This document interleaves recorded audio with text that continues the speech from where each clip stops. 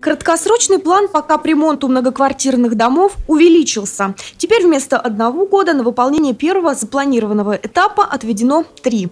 Работы приняты и оплачены на 43 объектах. Первоначально за 2015 год до декабря планировали отремонтировать 586 домов. Не получилось. Переход на трехлетний план – мера вынужденная. Из 500 многоквартирных домов конкурсы проведены и определены подрядные организации только на 254 дома. Соответственно, да, мы слышим да, о том, что конкурсы сейчас и дальше будут объявлены, но мы понимаем, что при отрицательных температурах ряд работ выполнять просто нельзя.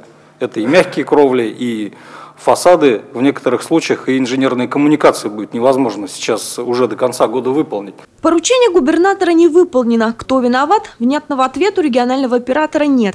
Говорят, муниципалитеты не могут определиться, что им нужно. Сначала заявляют одни работы, потом приходит информация о необходимости выполнения совсем других. С муниципалитетов поступают изменения видов работ, которые требуют корректировки программы и уже даже корректировки той работы, что проведена, сделаны обследованы, составлены сметы, практически дом готов к тому, чтобы выводить его на конкурс, а нам присылают протокол общего собрания, где люди изменили вид работы. То есть это повторная работа э, с выездом подрядной организации, которая проводит обследование и составление сметы.